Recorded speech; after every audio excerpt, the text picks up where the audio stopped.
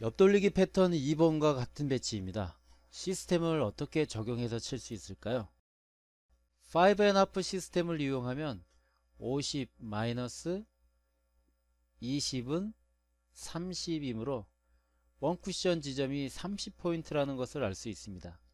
다만 내 공과 일적구의 위치 관계상 원쿠션으로 들어가는 각이 커서 밀리는 각입니다.